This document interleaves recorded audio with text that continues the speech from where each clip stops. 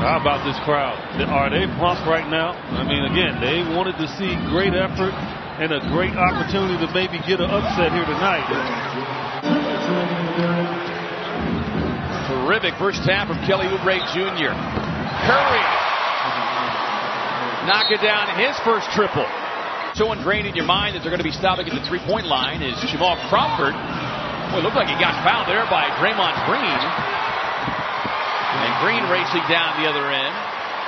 The Warriors are such a rare commodity. You've got the Warriors, you've got the Rockets, but you just have so few teams that have so many built-in deep shooters.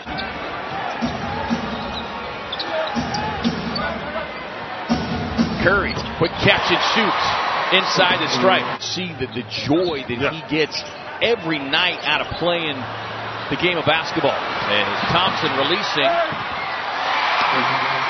And we are tied up.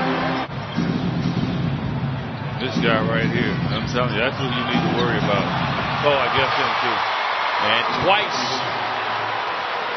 on back-to-back possessions, the Warriors have gotten easy looks on defensive breakdowns. Anybody can get that shot. His dominance has been with a foot in the paint. Curry off the screen. Rips the triple. that guy right there, he's lethal.